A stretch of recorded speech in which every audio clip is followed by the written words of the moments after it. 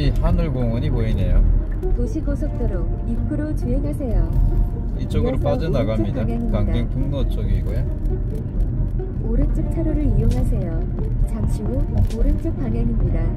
승산대교 방향이네요. 왼쪽은 일산 인천공항 가는 곳이고요. 오른쪽으로 빠져나가면 됩니다. 바로 앞에 저기 보이는 곳이 아닌가 하는 생각이 드는데요. 오른쪽에 보면 숲이 우거졌어요. 아, 차가 엄청 막히네요. 난지 한강공원 난지 캠핑장 바로 우회전하면 되겠네요. 난지 캠핑장 나옵니다.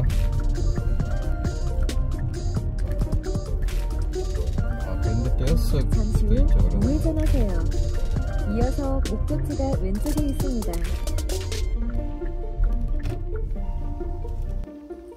왔다. 와서 진행해 왔답니다 왔다는 서울 마포구 상암동 495-81번지에 있는 난지 캠핑장을 찾았습니다.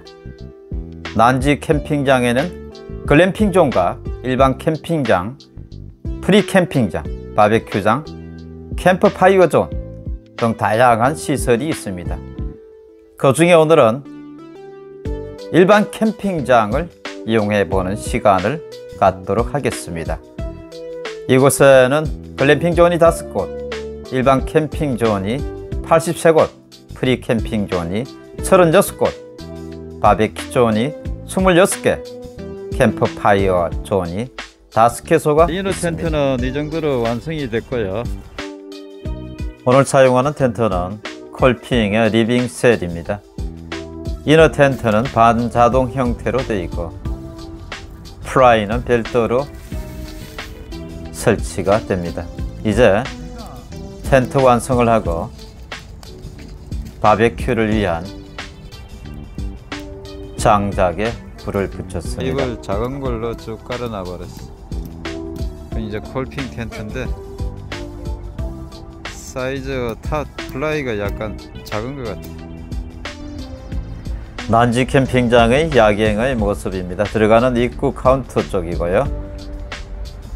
오늘 pitching한 콜핑의 living shell은 첫.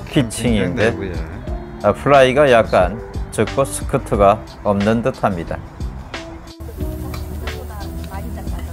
테이블은 받침 형태로 쓰기 위해서 미니 테이블 두 개와 사용하는 식탁용 롤 테이블 두 개를 준비를 했고요. 고기는 삼겹살과 살치살과 등심으로 저녁을 맞이합니다. 마지막에는 라멘으로 오늘 마무리를 하도록 하겠습니다.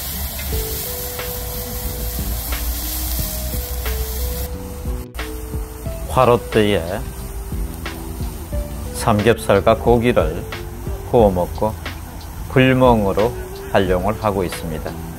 아주 멋진 장면이 나옵니다. 이제 라면 끓여서 먹고 난지 캠핑장. 주변을 한번 쭉 둘러봅니다. 지금 10시 가까이 되니까요. 이제 파산하고 돌아가시는 분도 계시고 계속해서 캠핑을 즐기시는 분들도 있습니다. 사람들이 많죠. 아주 넓습니다. 아, 이제 자야겠습니다.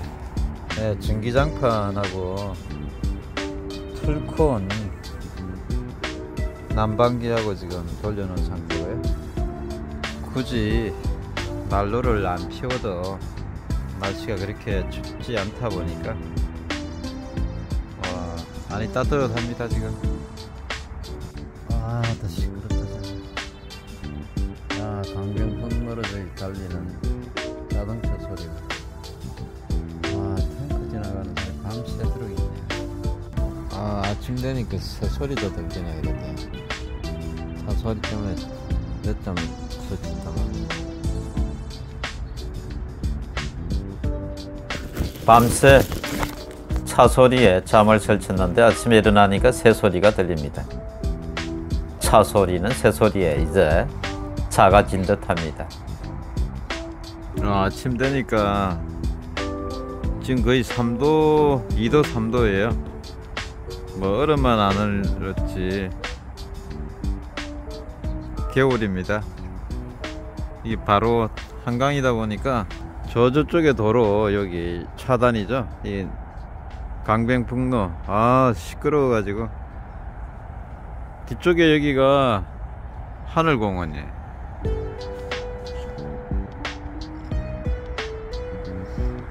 다리 여기 있어요. 다리.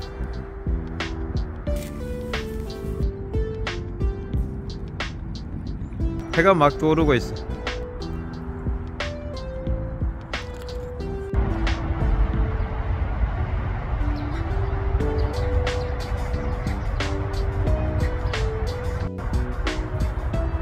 해 떠오르는 모습이에요.